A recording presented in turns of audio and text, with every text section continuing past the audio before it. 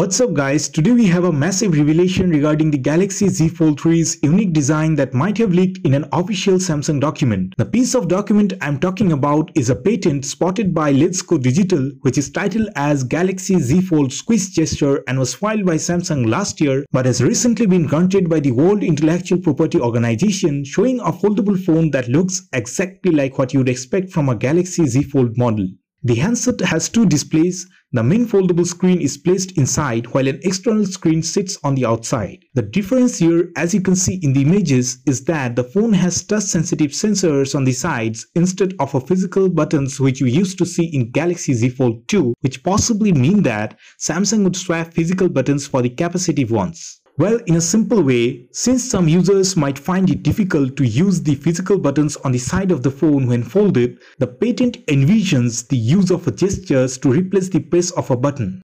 The user will be able to choose which gestures will work with certain controls. For instance, with the device folded up, a tap on the side could power up the phone while a swipe might allow users to control the volume. Now Samsung has already experimented with gesture-based controls on the Galaxy Z Fold 2, albeit by using a physical button. However, this patent does away with physical buttons completely. Now this change in design might look mere cosmetic to you, but it's not. Perhaps it has a cascading effect on the whole device. For instance, this replacement of buttons would prevent extra stress on the hinge. When pressing the physical buttons placed on one of the phone's two halves in folded mode, the force might impact the hinge that is keeping the phone closed. However, touch sensors would not suffer from the same problem as less energy would be required to operate them. This type of design would also fix several insulation and engineering problems because foldable phones will be getting thinner and thinner in the near future making it imperative for manufacturers to be able to use virtual controls as for reasons such as the physical buttons can lead to potential damage when the phone is bent. The other disadvantage we often face with physical switches is that the openings created for the buttons provide an entry point to water and dust which needs extra sealing. Hence, touch sensitive sensors seem a very plausible move.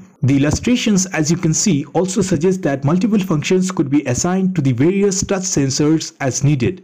They would work both in folded and unfolded modes as the sensor would be found on both the left and right sides of the handset. As far as other updates are concerned, Z Fold 3 is expected to be released in August porting the next version of Ultra Thin Glass or UTG 2.0 which could allow the S Pen to work with the device.